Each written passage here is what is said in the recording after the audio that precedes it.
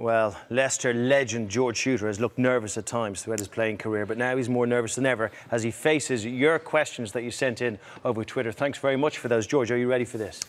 As ready as I'll ever be. Okay, focus up. Uh, first one's from Jeffs. How big a difference to a resurgent Tigers will Tom Croft make? Uh, sensible one to start with. Um, you know what? Maybe none because he may, he may, not be fit and ready to go in time. But uh, certainly, if he's back fit and, and uh, has a bit of game time under his belt, come the playoffs, he can be a huge uh, asset to us. He's a world class player. Great athlete, isn't he? Yeah, line out, uh, out wide channels. There's probably no one like him in world rugby in those sort of respects. Just very unlucky. Yes, very unlucky. yes. David DC asks, who is the best player you've played with and played against as a Tiger and as an international? Good question. Um, probably from, from a skills and ability point of view, I'd say Jordan Murphy would be right up there. Just had everything going for him uh, in terms of skills and also a real good work ethic. Uh, believe it or not, he was seen the gym three or four times in his career, um, which was fantastic. It was great to see him there.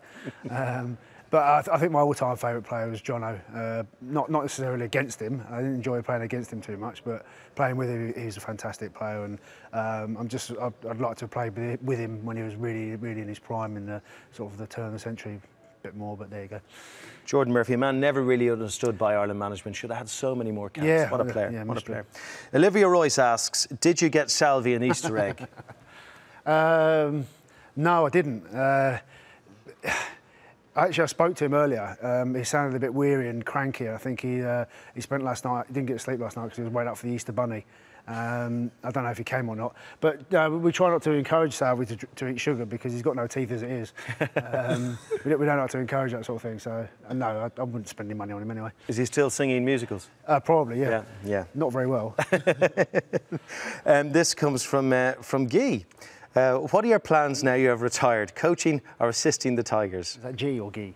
Um, G. G, I think. clarified butter. G. it's something else in Ireland. I can't even explain. Oh, Answer the question. Um, I, haven't, I, haven't, really got any plans right this moment. Uh, I quite fancy a curry now. Talking about G. Um, Stop saying G. You have no idea how rude that is in Ireland. Stop saying it. Um, I, I, no, I've, oh, no idea. I've, I've, uh, I've, I've, done some coaching badges, so maybe maybe coaching. Um, maybe maybe stand-up comedy with you, Craig. just just stand in front of an Irish audience and go, gee, they'll love it. this comes from Will Matthews. What's the be- what is the best prank that uh, that's been pulled or you have pulled on a Tigers teammate? Uh, you know I'm not really I'm not really much of a prankster. I'm more of a, a relentless verbal bully. Um, I, I, don't, I don't know, the pranks, they're okay. We, we had a few, well, it wasn't so much me, it was Seru Rabeni and Lewis Moody a few years ago uh, had a prank war going on that escalated in, incredibly quickly.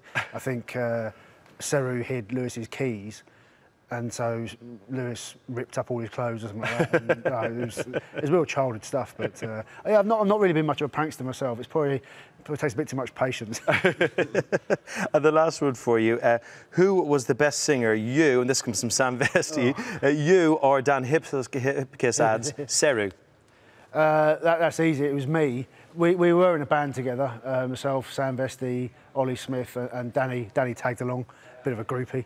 Um, and we, well, when, when we did sort of like gentle rock and uh, sorry, gentle pop and girly songs, we got Danny to sing. Uh, and when we sang the real stuff, that was me. So I'm much much better singer than Dan. Uh, Seru actually joined in. We did a, a charity do for for Matt Hampson uh, in a pub, and Seru came along uh, as Bob Marley to sing "No Woman No Cry" and didn't know any of the words. So I ended up singing it for him, and he was there, just sort of every every other word he'd know.